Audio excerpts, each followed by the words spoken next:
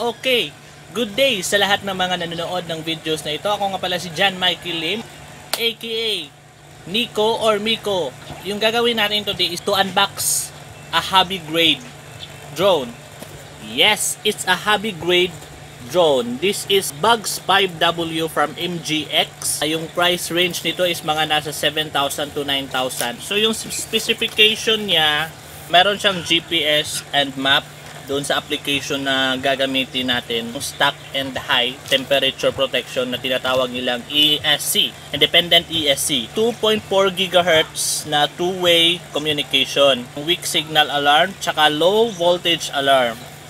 So pag magwi-weak yung signal, mag-a-alarm yung remote control at pag maglo-low voltage na siya, yung low battery, mag magbibip din yung remote control. A brushless motor. Meron siyang point of interest, yung parang magsiset ka sa map or sa GPS kung saan siya dadaan. Pwede din paikot paikot sa iyo or whatsoever na gusto mong gawin sa kanya. Then yung follow me. Take note, uh, ito po isang 5G Wi-Fi. Kailangan yung Android or smartphone mo is uh, 5G supported. Kasi 5G po dyan. So let's unbox this one. Manual. Manual ng uh, drone na Bugs 5W tsaka yung manual ng remote control niya. meron siyang nakalagay dito na QC QC pass basta ganun. So yan.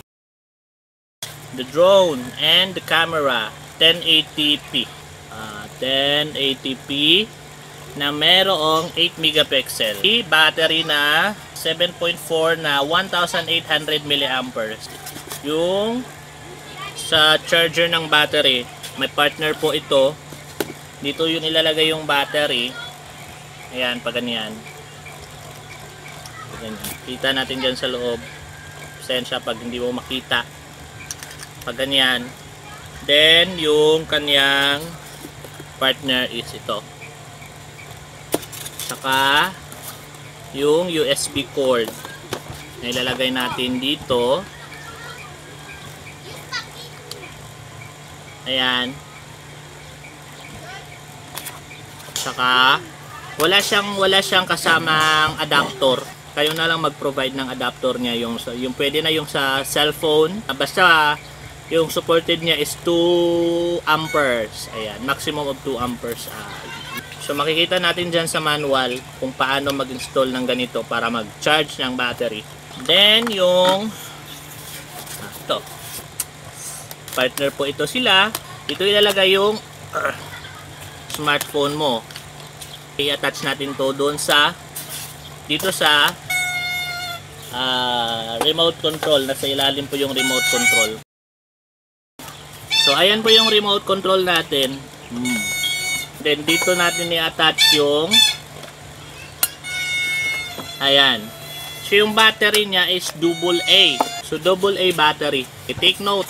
Yung bibilhin mo na double A battery is at 2500 mAh ang isa. Ang pinakamura na nakita ko sa market is itong Maxus.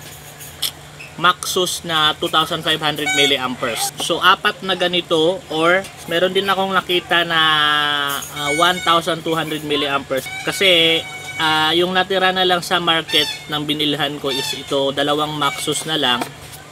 So, kulang ako ng dalawa. So, bumili na lang ako ng dalawang ganito na 1,200 milliamperes. So, yung pang charging niya. Yung tip ko lang humanap kayo yung fast charging, yung supported na fast charging kasi yung mga luma natin na pang charge natin sa mga rechargeable battery natin na ganito ay medyo matagal talaga umaabot ng 12 hours. Meron siyang extra propeller. Sa pag-install nito, hindi pwedeng kahit saan mo na lang sa ilalagay kasi may naka-indicate dito na mga letters yung yung dalawang propeller is may letter B, yung dalawa namang propeller is letter A.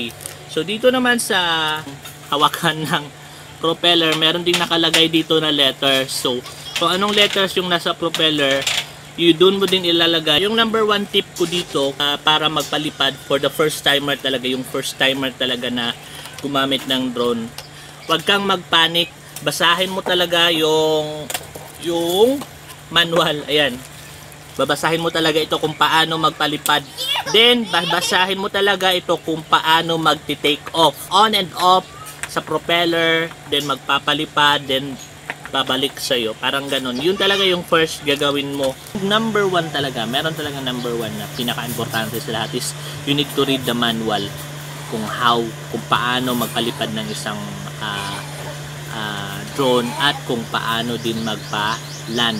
So sa remote control na naman natin, syempre para naman sa easy at pinakamadali magpalipad ng drone, kailangan mo talaga ng GPS. Kailangan mo talaga i-turn on yung location mo, yung GPS mo. Ayan. That turn on mo, then i-connect mo yung Android mo o yung smartphone mo, wait mo, wait mo na maghanap siya ng satellite. Pag may makita ka dito, 9 or 19, something 13 satellites yun, pwede na yun. Then, yung isa naman is yung ah, headless. Ano ba yung headless? Walang ulo. Ayun, headless ah, sa controlling yun parang hindi siya magde-depend sa head ng drone. Bago kayo magpalipad ng MGX Bugs 5W nyo, you need to calibrate the drone first. Ganyan. Ah, 5 times or 4 times na ganyan, then 5 times or 4 times na ganito. Dalawa talaga yan sila. Itong nagbi-blink na yan, pag inikot mo yan ng ganyan, 5 times, hindi yan siya, hindi hindi ito ma- hindi ganito yung blink niya. Mas green pa kasi color green yan. Yan, color green yan siya. Mas green pa dito yung magbi-blink. Pag inikot mo ng ganito. Tapos pag magano na pag super green na yung light niya, ganito na naman ka mag-iikot 5 times. So yung yung yung lalabas dito is ah, green and red or something blue or red mag-swap-swap na sila ng blinking. To turn on the propeller on your drone, pag nandyan na yung lahat, na meron ka ng satellite, connected na yung Android mo o yung smartphone mo, first mo talagang gawin is you need to turn on the propeller. Hindi yung magpapalipad ka agad. Yung first mong gawin is itong lock button. One press lang po yan. Pak! One press lang po yan. Makikita mo agad yung drone mo na iikot yung apat na propeller. Paano ba mag-turn off ng propeller? So you need to press this button again for 3 seconds. Andyan po yan sa manual. Pagkikita po natin dyan sa manual. 3 seconds po, you need to press this button for 3 seconds. Then mag-off po yung propeller ng drone mo. 1K take off. So yung 1K take off, halimbawa nandun siya sa itaas, pag prines mo ito, unti-unti yan siyang bumababa yung drone. Hindi po yun automatic na pupunta kung saan siya lumipad. So you need to control it kung saan mo siya ipabababa. Pero hindi po agad niya bababa talaga. Yung parang baba niya is medyo ano lang, medyo slow lang yung pagbaba niya. So you need to control it using this analog control. Itong 1K return, ayan, 1K return. So pag nakaset yung GPS mo, dapat meron kang GPS nun dapat yung zero na ito meron merong nakalagay na mga numbers 13 something 10 7 na satellite yung na-detect niya. Kung saan siya lumipad doon din siya magsa-stop. Pero hindi ibig sabihin na doon siya bababa. Doon lang siya sa itaas. Doon siya magsi-stay. Straight po yun ng ng niliparan niya. Yung dalawang sa gitna na switch wala na yan. Parang design na lang yan pagbukas mo ng manual ng remote control nandito sa loob yung mga how to how to na iniisip mo.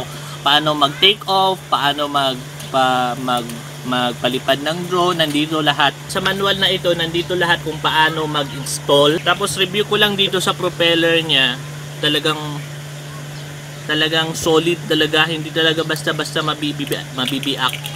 Then dito sa ano niya maganda din. Yan maganda din yung camera niya gumagalaw like that one.